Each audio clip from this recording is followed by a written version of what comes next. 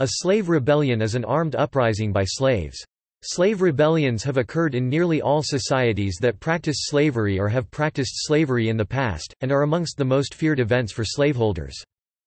The most successful slave rebellion in history was the 18th-century Haitian Revolution, led by Toussaint Louverture and later Jean-Jacques Dessalines who won the war against their French colonial rulers, which founded the country formerly known as Saint-Domingue.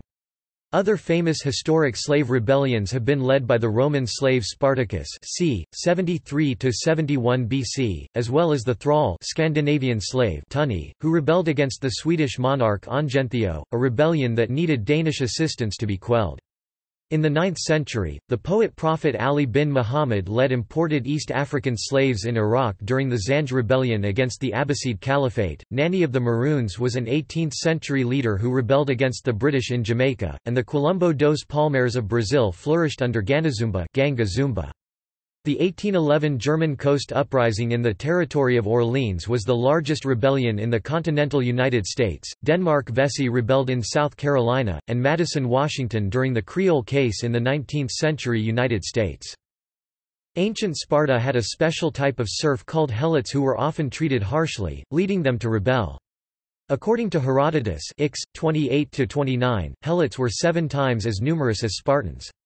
Every autumn, according to Plutarch Life of Lycurgus, 28, 3–7, the Spartan ephors would pro forma declare war on the helot population so that any Spartan citizen could kill a helot without fear of blood or guilt in order to keep them in line crypteia. In the Roman Empire, though the heterogeneous nature of the slave population worked against a strong sense of solidarity, slave revolts did occur and were severely punished. The most famous slave rebellion in Europe was led by Spartacus in Roman Italy, the Third Servile War. This war resulted in the 6,000 surviving rebel slaves being crucified along the main roads leading into Rome. This was the third in a series of unrelated servile wars fought by slaves to the Romans. The English Peasants' Revolt of 1381 led to calls for the reform of feudalism in England and an increase in rights for serfs. The Peasants' Revolt was one of a number of popular revolts in late medieval Europe. Richard II agreed to reforms including fair rents and the abolition of serfdom. Following the collapse of the revolt, the king's concessions were quickly revoked, but the rebellion is significant because it marked the beginning of the end of serfdom in medieval England. In Russia, the slaves were usually classified as kholops. A kholops master had unlimited power over his life. Slavery remained a major institution in Russia until 1723, when Peter the Great converted the household slaves into house serfs. Russian agricultural slaves were formally converted into serfs earlier in 1679. During the 16th and 17th centuries, runaway serfs and kholops known as Cossacks outlaws", formed autonomous communities in the southern steppes. There were numerous rebellions against slavery and serfdom, most often in conjunction with Cossack uprisings, such as the uprisings of Ivan Bolotnikov (1606–1607), Stenka Razin (1667–1671), Kondraty Bulavin (1707–1709), and Yemelyan Pugachev (1773–1775), often involving hundreds of thousands and sometimes millions. Between the end of the Pugachev Rebellion and the beginning of the 19th century, there were hundreds of outbreaks across Russia. Numerous African slave rebellions and insurrections took place in North America during the 17th, 18th, and 19th centuries. There is documented evidence of more than 250 uprisings or attempted uprisings involving 10 or more slaves.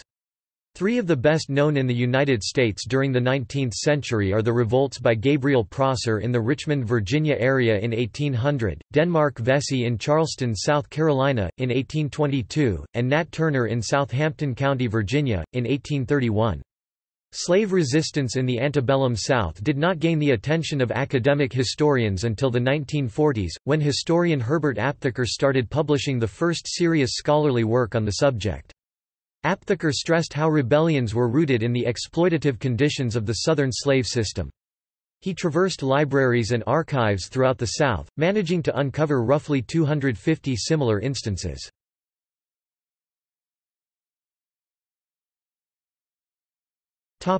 Middle East The Zanj Rebellion was the culmination of a series of small revolts. It took place near the city of Basra, in southern Iraq over 15 years 869–883 AD. It grew to involve over 500,000 slaves, who were imported from across the Muslim Empire.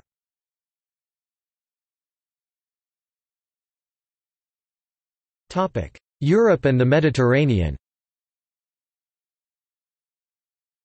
In the 3rd century BCE, Drymachos or Drymachus led a slave revolt on the slave entrepot of Chios, took to the hills and directed a band of runaways in operations against their ex-masters. The Servile Wars 135 to 71 BCE were a series of slave revolts within the Roman Republic. The First and Second Servile War occurred in Sicily. The Third Servile War 73 to 71 BCE occurred in mainland Italy. Spartacus, an escaped gladiator supposedly from Thrace, became the most prominent of the rebel leaders. Marcus Licinius Crassus suppressed the insurgents. Many modern rebels such as the Spartacus League have since regarded Spartacus as an heroic figure. Other slave revolts occurred elsewhere. Eumenes III, king of Pergamon from 133 to 129 BCE, promised freedom to slaves to draw support against the Roman Republic. A number of slave revolts occurred in the Mediterranean area during the early modern period. 1748, Hungarian, Georgian and Maltese slaves on board the Ottoman ship Lupa revolted and sailed the ship to Malta.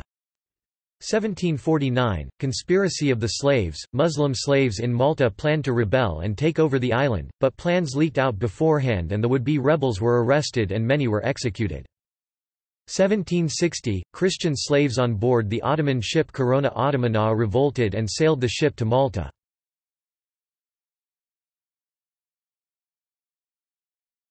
São Tomé and Príncipe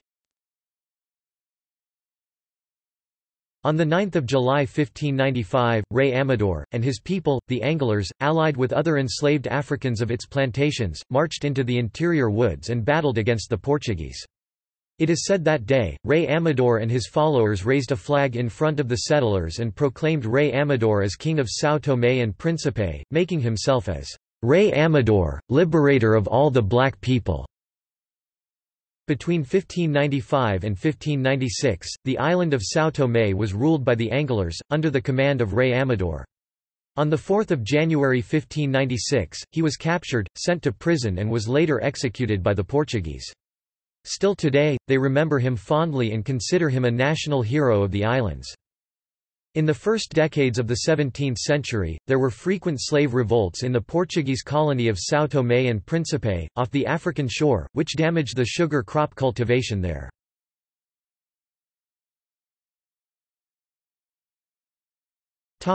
South America and the Caribbean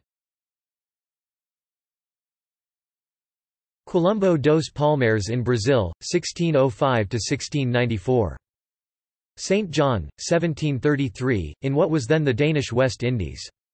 The St. John's Slave Rebellion is one of the earliest and longest-lasting slave rebellions in the Americas. It ended with defeat, however, and many rebels, including one of the leaders Brefu, committed suicide rather than being recaptured. The most successful slave uprising was the Haitian Revolution, which began in 1791 and was eventually led by Toussaint Louverture, culminating in the independent Black Republic of Haiti. Panama also has an extensive history of slave rebellions going back to the 16th century. Slaves were brought to the isthmus from many regions in Africa, including the modern-day countries of the Congo, Senegal, Guinea, and Mozambique. Immediately before their arrival on shore, or very soon after, many enslaved Africans revolted against their captors or participated in mass maroonage or desertion. The freed Africans founded communities in the forests and mountains, organized guerrilla bands known as cimarrones. They began a long guerrilla war against the Spanish conquistadores, sometimes in conjunction with nearby indigenous communities like the Kuna and the Guaymi. Despite massacres by the Spanish, the rebels fought until the Spanish crown was forced to concede to treaties that granted the Africans a life without Spanish violence and incursions. The leaders of the guerrilla revolts included Felipillo, Bayano, Juan de Dioso, Domingo Congo, Anton Mandinga, and Luis de Mozambique. Tacky's War 1760 was a slave uprising in Jamaica, which ran from May to July before it was put down by the British colonial government. The Suriname slave rebellion was marked by constant guerrilla warfare by Maroons and in 1765–1793 by the Aluku. This rebellion was led by Boni. The Berbice slave revolt in Guyana in 1763 was led by Cuffy. Cuba had slave revolts in 1795, 1798, 1802, 1805, 1812 the Aponte Revolt, 1825, 1827, 1829, 1833, 1834, 1835, 1838, 1839–43 and 1844 the La Escalera Conspiracy and Revolt.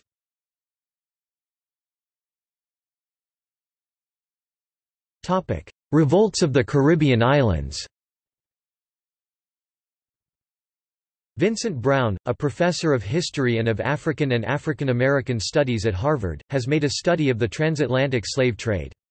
In 2013, Brown teamed up with Axis Maps to create an interactive map of Jamaican slave uprisings in the 18th century called, Slave Revolt in Jamaica, 1760–1761, a cartographic narrative. Brown's efforts have shown that the slave insurrection in Jamaica in 1760–61 was a carefully planned affair and not a spontaneous, chaotic eruption, as was often argued due in large part to the lack of written records produced by the insurgents. Later, in 1795, several slave slave rebellions broke out across the Caribbean, influenced by the Haitian Revolution. In Jamaica, the descendants of Africans who fought and escaped from slavery and established free communities in the mountainous interior of Jamaica Maroons, fought to preserve their freedom from British colonialists, in what came to be known as the Second Maroon War. In Dominica there was the Colihaut Uprising. In St. Lucia there was the Bush War. In the St. Vincent Islands the Second Carib War broke out. In Grenada there was the Fedon Rebellion. Curaçao had a slave revolt in 1795, led by Tula. In Venezuela, José Leonardo Chirino's insurrection occurred in 1795. In Barbados, a slave revolt occurred in 1816, led by Bussa. In Guyana there was the Demerara Rebellion of 1795. In the British Virgin Islands, minor slave revolts occurred in 1790, 1823 and 1830. In the Danish West Indies an 1848 slave revolt led to emancipation of all slaves in the Danish West Indies. In Puerto Rico in 1821, Marcos Xiorro planned and conspired to lead a slave revolt against the sugar plantation owners and the Spanish colonial government. Even though the conspiracy was unsuccessful, Xiorro achieved legendary status among the slaves and is part of Puerto Rico's folklore.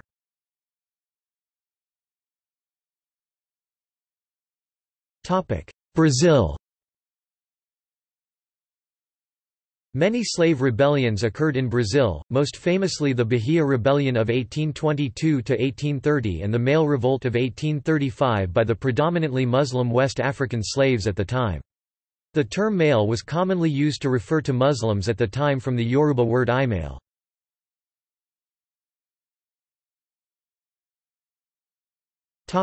North America Numerous black slave rebellions and insurrections took place in North America during the 17th, 18th, and 19th centuries. There is documentary evidence of more than 250 uprisings or attempted uprisings involving 10 or more slaves. Three of the best known in the United States during the 19th century are the revolts by Gabriel Prosser in Virginia in 1800, Denmark Vesey in Charleston, South Carolina in 1822, and Nat Turner's Slave Rebellion in Southampton County, Virginia, in 1831. Drapetomania was a supposed mental illness described by American physician Samuel A. Cartwright in 1851 that caused black slaves to flee captivity. Today, drapetomania is considered an example of pseudoscience, and part of the edifice of scientific racism. Slave resistance in the antebellum South did not gain the attention of academic historians until the 1940s, when historian Herbert Aptheker started publishing the first serious scholarly work on the subject. Aptheker stressed how rebellions were rooted in the exploitative conditions of the Southern slave system. He traversed libraries and archives throughout the South, managing to uncover roughly 250 similar instances. The 1811 German Coast Uprising, which took place in rural southeast Louisiana, then the territory of Orleans, early in 1811, involved up to 500 insurgent slaves. It was suppressed by white militias and a detachment of the United States Army. In retaliation for the deaths of two white men and the destruction of property, the authorities killed at least 40 black men in a violent confrontation the numbers cited are inconsistent, at least 29 more were executed combined figures from two jurisdictions, St. Charles Parish and Orleans Parish. There was a third jurisdiction for a tribunal and what amounted to summary judgments against the accused, St. John the Baptist Parish. Fewer than 20 men are said to have escaped, some of those were later caught and killed, on their way to freedom, although only involving about 70 slaves and free blacks. Turner's 1831 rebellion is considered to be a significant event in American history. The rebellion caused the slave-holding South to go into a panic. Fifty-five men, women, and children were killed, and enslaved blacks freed on multiple plantations in Southampton County, Virginia, as Turner and his fellow rebels attacked the white institution of plantation slavery. Turner and the other rebels were eventually stopped by state white militias Aptheker, 1993. The rebellion resulted in the hanging of about 56 slaves, including Nat Turner himself. Up to 200 other blacks were killed during the hysteria which followed, few of whom likely had anything to do with the uprising. Fears afterwards led to new legislation passed by Southern states prohibiting the movement, assembly, and education of slaves, and reducing the rights of free people of color. In addition, the Virginia legislature considered abolishing slavery to prevent further rebellions. In a close vote, however, the state decided to keep slaves. The abolitionist John Brown had already fought against pro slavery forces in Kansas for several years when he decided to lead a raid on a federal arsenal in Harpers Ferry, Virginia.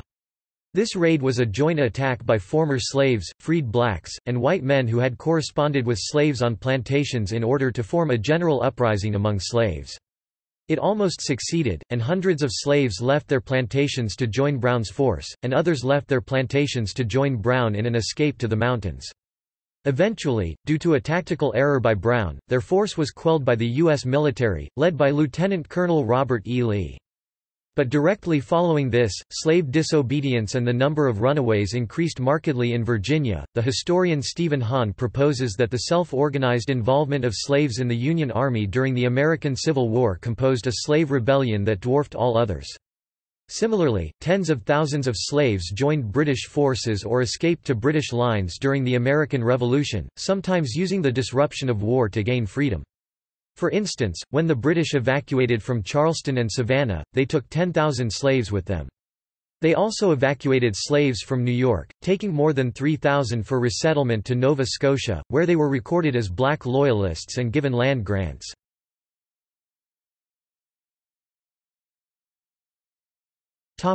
North American slave revolts San Miguel de Guadalupe 1526 Bayanos War 1548 Gaspar Yangas Revolt c. 1570 near the Mexican city of Veracruz, the group escaped to the highlands and built a free colony. Gloucester County Virginia Revolt 1663 New York Slave Revolt of 1712 Samba Rebellion 1731 Stono Rebellion 1739 New York Slave Insurrection of 1741 1791 Mina Conspiracy.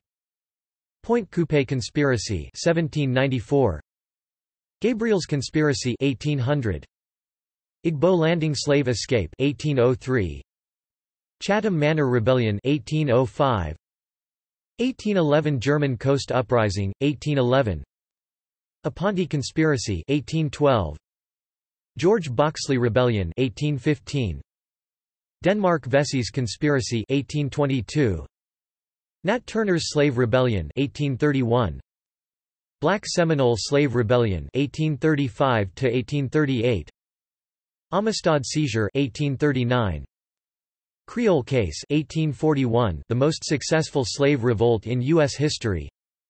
1842 Slave Revolt in the Cherokee Nation John Brown's raid on Harper's Ferry 1859 failed attempt to organize a slave rebellion.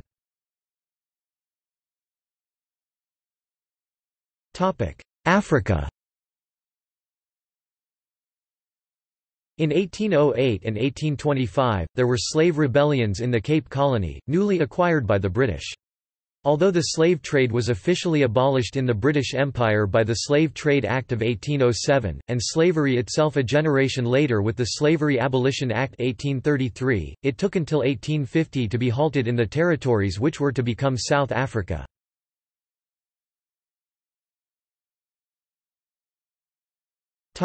Slave ship revolts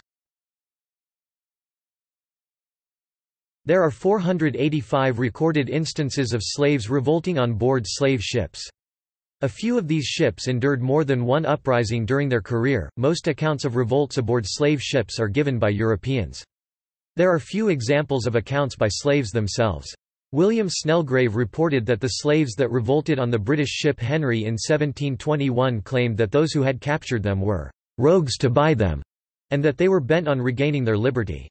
Another example that Richardson gives is that of Jamestown who gives the account of slaves stating that Europeans did not have the right to enslave and take them away from their homeland and wives and children. Richardson compares several factors that contributed to slave revolts on board ships, conditions on the ships, geographical location, and proximity to the shore. He suggests that revolts were more likely to occur when a ship was still in sight of the shore. The threat of attack from the shore by other Africans was also a concern. If the ship was hit by disease and a large portion of the crew had been killed, the chances of insurrection were higher. Where the slaves were captured also had an effect on the amount of insurrections. In many places, such as the Bight of Benin and the Bight of Biafra, the percentage of revolts and the percentage of the slave trade match up. Yet ships taking slaves from Senegambia experienced 22% of shipboard revolts while only contributing to 4.5% of the slave trade. Slaves coming from West Central Africa accounted for 44% of the trade while only experiencing 11% of total revolts. Lorenzo J. Greene gives many accounts of slave revolts on ships coming out of New England. These ships belonged to Puritans who controlled much of the slave trade in New England. Most revolts on board ships were unsuccessful. The crews of these ships, while outnumbered, were disciplined, well fed, and armed with muskets, swords, and sometimes cannons, and they were always on guard for resistance. The slaves on the other hand were the opposite, armed only with bits of wood and the chains that bound them, however, some captives were able to take over the ships that were their prisons and regain their freedom. On October 5, 1764 the New Hampshire ship Adventure captained by John Miller was successfully taken by its cargo. The slaves on board revolted while the ship was anchored off the coast and all but two of the crew, including Captain Miller, had succumbed to disease. Another successful slave revolt occurred six days after the ship Little George had left the Guinea coast. The ship carried 96 slaves, 35 of which were male. The slaves attacked in the early hours of the morning, easily overpowering the two men on guard. The slaves were able to get one of the cannons on board loaded and fired it at the crew. After taking control of the ship they sailed it up the Sierra Leone River and escaped. After having defended themselves for several days below decks with muskets the crew lowered a small boat into the river to escape. After nine days of living off of raw rice they were rescued. There is one factor that is not addressed by either Richardson or Greene.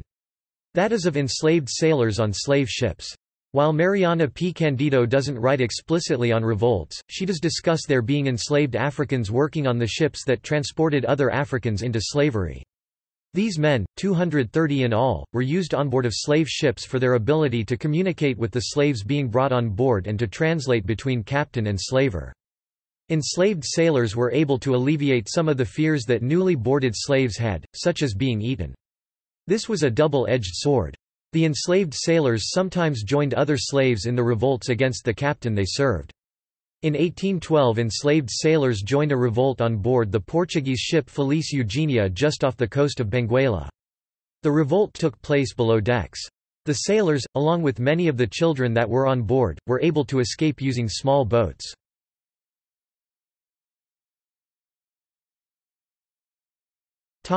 Bibliography Herbert Aptheker, American Negro Slave Revolts, 6.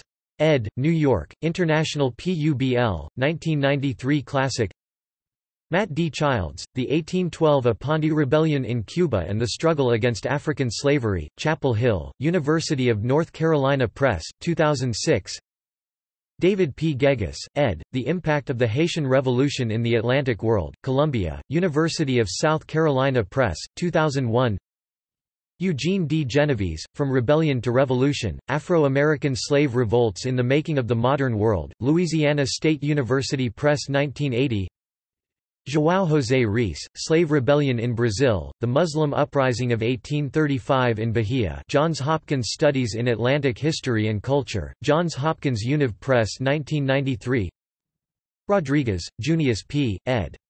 Encyclopedia of Slave Resistance and Rebellion. Westport, C.T., Greenwood, 2007. Rodriguez, Junius P., ed.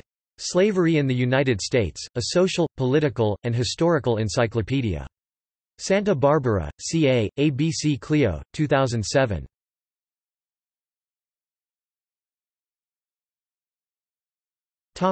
See also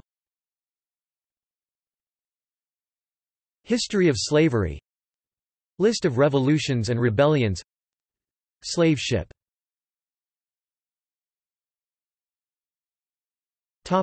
References and notes.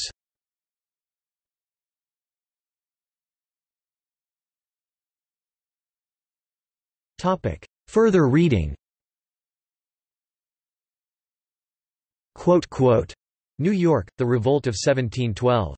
PBS.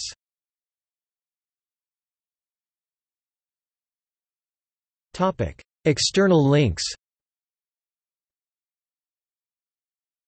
Bahia Revolt. AfricanHolocaust.net. Hart, Richard ex-Attorney General of Grenada. Invisible Abolitionists. brh.org.uk. Audio on slave revolts in the Caribbean. Home. The Slave Rebellion website. Rebellion, John Horse and the Black Seminoles, first black rebels to beat American slavery. JohnHorse.com. These Maroons affiliated with Seminole Indians in Florida led a slave rebellion that would be the largest in U.S. history. Welcome to Encyclopaedia Britannica's Guide to Black History. Encyclopaedia Britannica